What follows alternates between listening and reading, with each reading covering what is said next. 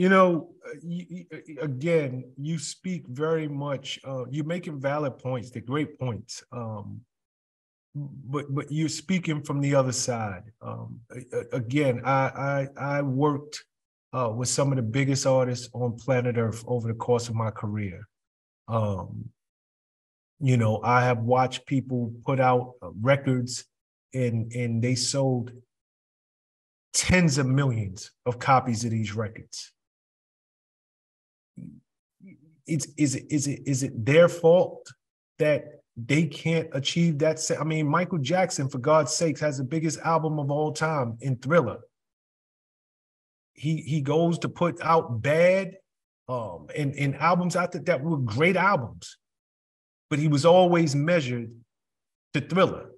It, it just it's just unfortunate when you're an artist and you reach the top of the charts, that is just what it is.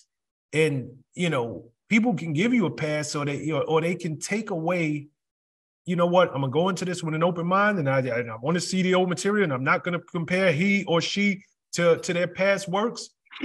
But truth of the matter is, you know, subconsciously, there was a bar that was set. Yeah, man, you like you just like the typical, you know, man, screw all that. Come with it. Yeah, I paid this money and you better make me laugh. And I want to see well, some of that shit you did in Black, Bigger and Blacker and Deafer. The shit that I told my cousin them about. You better do that shit.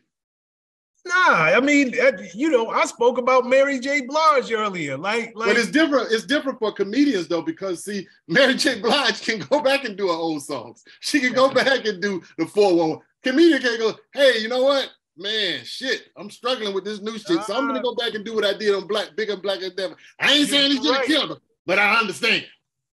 You're right. You're right. Because I paid money to see Mary do my life. I paid money to see Jay Z do in my lifetime all three volumes.